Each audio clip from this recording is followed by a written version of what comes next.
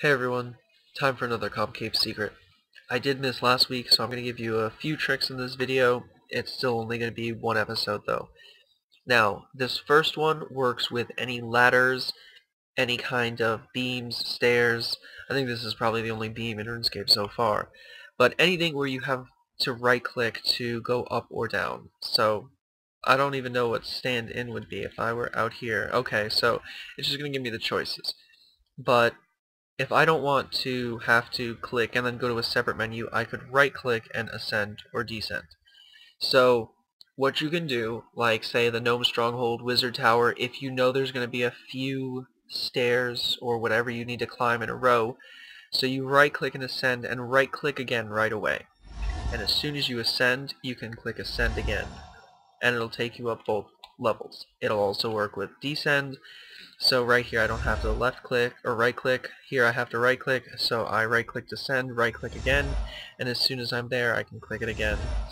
It's not crucial, I mean I can't think of anything that you need to do that would, that you'd want to ascend the stairs and ladders a second faster, but it's just a convenient trick that I found out a while ago.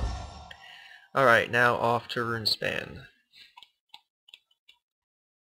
Runecrafting Guild.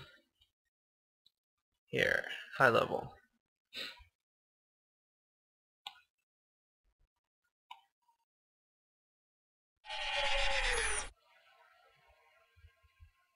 Alright, now, this, to some of you, to many of you even, may be common knowledge, but quite a few people that I mentioned this to were surprised about it, so I figured it was worth featuring here, you don't have to siphon for runes to go across all the paths.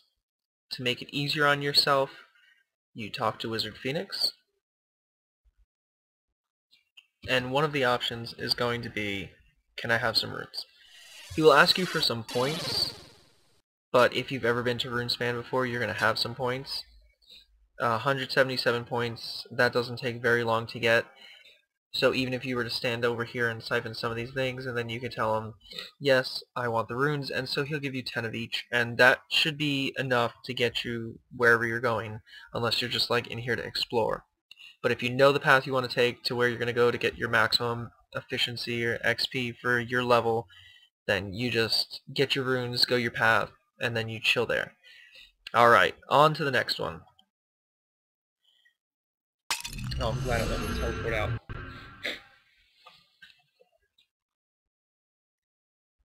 Okay, now I'm going to show you how to make any GE offer buy or sell instantly. Now, this isn't going to work for items that are over max cash, that players sell for over max cash. So don't be thinking like you're going to go instantly buy a bunch of blue party hats, scam the system. No. The item has to be on the GE if you're buying it. Now, if you're selling an item over max cash and you throw it in the GE, yeah, that's going to sell instantly and you're going to make someone's day really good. But okay, now, say for the final part of this video, I need some super attack potions. And let's see if they buy. We'll get 20.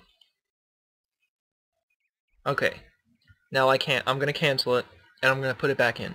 Now, how much of a hassle is this going to be if I raise the offer a little bit, and then raise a little more, and then raise a little more, to find exactly how much it is? Okay, mid price was 8600 for these.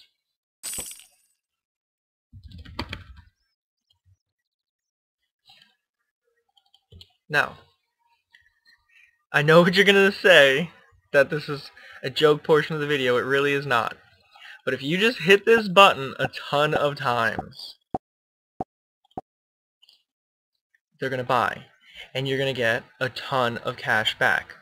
So it was 8600 and we got it for 10.8. So that really was not much of a difference, and I know I'm only buying 20, and it's a rather cheap item. But you're really not going to be able to get the item unless you're willing to wait. Now, if you're willing to wait, then put it in for mid and check it tomorrow. But depending how much an item is fluctuating and how fast the price is going up, that might not even work. They might be going up too fast for you to even get them.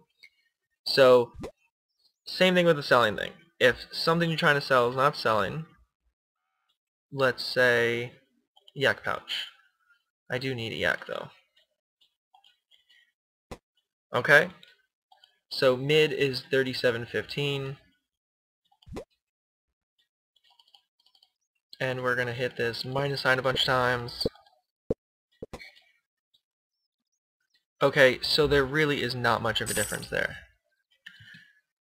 I cut away to buy the different supplies I needed just so you didn't have to watch me do the same method over and over again. Now again, this is not a joke portion of the video.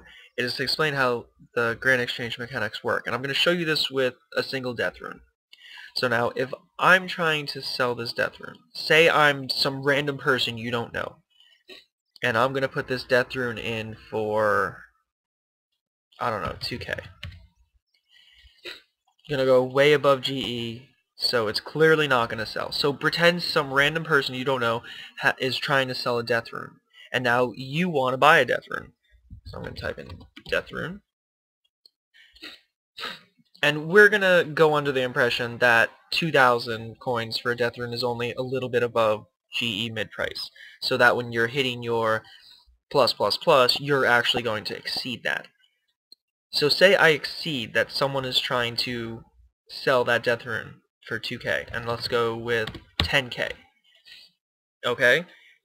Now, no one else is trying to buy a death rune for anywhere close to 2k or over 2k because it would have sold. So now if I hit confirm, I got a death rune. And I got way more back than just 8k. I got someone else's death rune.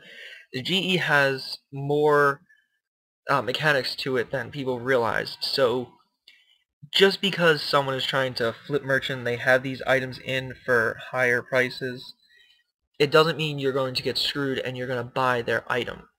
So don't be worried about this. See, my death rune still has not sold. No one else pay is paying over 2k. I'm the only person in RuneScape who just tried to pay over 2k for a death rune, and I did not get my own death rune. So you don't need to worry about it if someone has some crazy uh, high offer for an item. Just like people I know have offers in for party hats at like 100k. If someone were to sell a party hat for one coin, I'm 99.99% sure that it would sell for fairly close to whatever the majority of them are selling for, of that kind.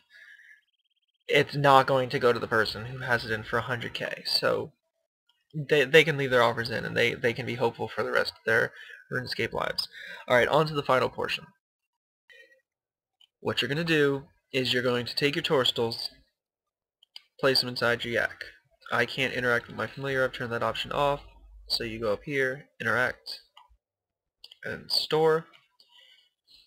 In case you haven't figured out, this is a slightly faster way to make overloads. Can I actually exit this from here?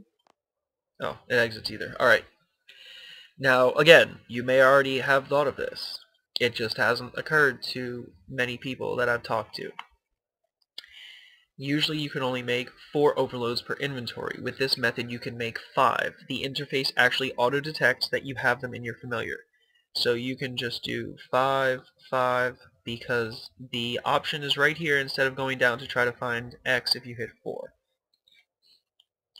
5, 5, 5, 5, 5, leaving me 3 spaces, which I would have, of course, more Torstols in my bank. I'd assume you're not making only 20, I'm just doing this for the video purposes. So withdraw 3 from your bank, and now when I go to make the overloads, it auto-detects 5. Now, if I don't take Beast of Burden fast enough, it's only going to make 3 because I only have 3. So what you need to do, after you make your first two overloads, you'll have one left, you take Beast of Burden, and that'll give you another 2 for a total of 5. So you just hit it, 1, 2, and then you take Beast of Burden, and you will continue making them as you take Beast of Burden. So you go back into your bank, hit the bank all, 5, no, not 10. Nice thing about that is if you do hit 10, you can just hit deposit 5. Again, my Torstols are in my yak. I would have more in my bank though if I were making many. Hit make overloads, and then take Beast of Burden. So you get the idea. I'm going to finish making what I have just because I bought 20 for the purposes of this video. I hope some or all of these secrets You saw I almost clicked the X. I gotta remember clicking down here. It, it even happens to me sometimes. I don't know why. Just out of old habit. I want to click up there and depending on what bank you're at you will have to hit the X. So I hope some or all of these tips in this video have helped you. Give it a like and subscribe if you want to see more if you're not already. And I'll see you next week.